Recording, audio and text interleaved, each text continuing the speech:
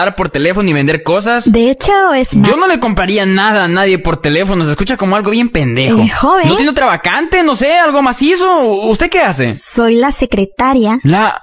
la que guarda los secretos? ¿Tiene alguna experiencia laboral previa? ¿Qué- ¿Cómo? Que si ha trabajado...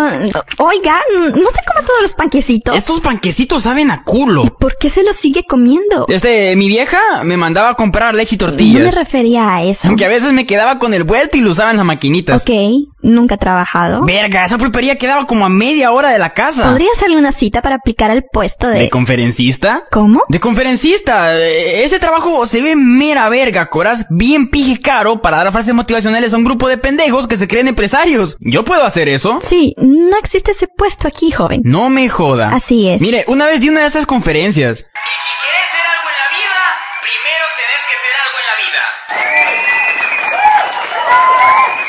Cuando aparezca algo difícil, es porque está bien difícil. Pero siempre deben creer y despertarse todas las mañanas diciendo, soy un triunfador. A ver todos.